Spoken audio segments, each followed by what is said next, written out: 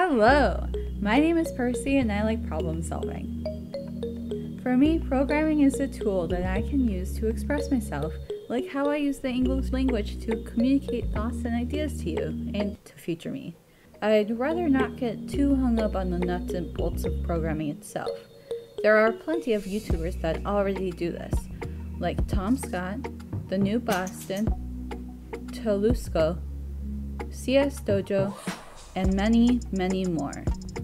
Let's solve a programming problem. Since this is my first video, I'm going to start with the easiest problem on the online program competition judge Kattis. Hello World. This problem is generally someone's first code, thus first exposure to actually programming.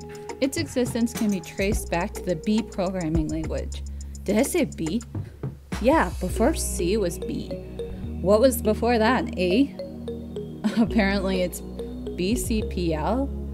Welcome to computer science, my book pulse. Anyway, uh, while it may not be the first actual program, it's what I'm sure everyone assumes is the first program. So here it is, written in pen and signed.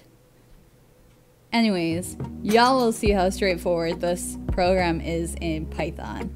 All it is is the single line. There we have it, QED. Our next problem is R2, which is slightly more complex than this. Did you like this video? What problem would you like me to solve next? Subscribe and hit the bell icon to get updated every time I solve a new problem for y'all. Thanks for watching.